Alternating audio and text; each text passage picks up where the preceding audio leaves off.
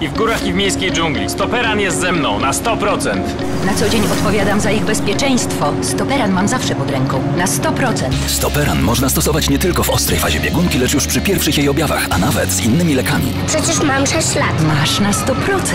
Przed użyciem zapoznaj się z treścią ulotki dołączonej do opakowania bądź skonsultuj się z lekarzem lub farmaceutą, gdyż każdy lek niewłaściwie stosowany zagraża Twojemu życiu lub zdrowiu. USP Zdrowie.